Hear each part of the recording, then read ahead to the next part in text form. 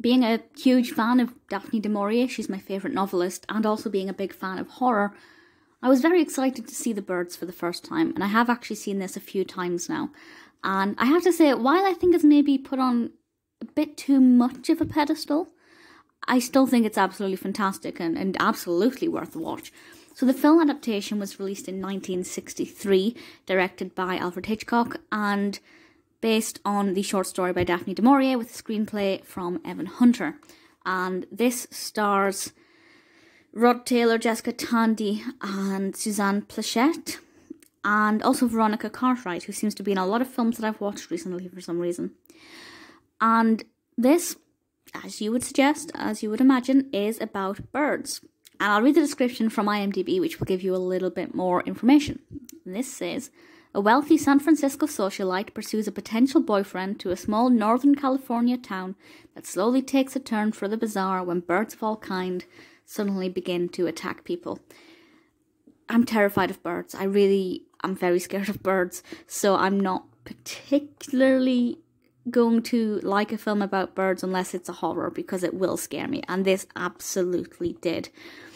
The fact that it's black and white kind of just makes it all the more eerie for some reason because I feel like black and white horror always has an element of the unknown, and that works very well here.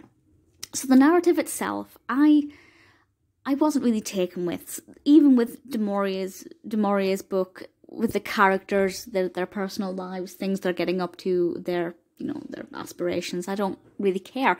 I never really felt connected with any of the characters. I wasn't really bothered about their potential relationships. The interesting parts start when the birds make an appearance and they make a slow appearance and then they become more and more and more of them and as this increases, so does the fear factor, and it does get quite intense and quite intimidating pretty quickly. So, although I wasn't that bothered about the, I guess, the bare bones of the narrative, the foundation blocks of the narrative, it does get to the horror aspect pretty quickly, but not in a way that it's in your face. It does have a slow build up, but we get to the point more quickly than I'm currently getting to the point, at the very least. And when we first meet the birds, they're a little scary, but they're obviously not the most terrifying things ever. Uh, by, you know, halfway through, it's just really quite sinister. And if you're like me, you're not a fan of birds and you're really uncomfortable around birds, it's something that's going to really get to you, I think. It's done so fantastically well that you will not look at a flock of birds in the same way. What are they thinking? What are they looking at us for? Are they going to attack? Are they going to get us? What are they going to do with that sharp beak? That can do a lot of damage very quickly. It's eerie. The music also plays a very strong part in making it quite sinister. In terms of the acting, it's very good. We have a lot of um, very panicked scenes, and I feel like that works particularly well, especially with Jessica Tandy. It very involved.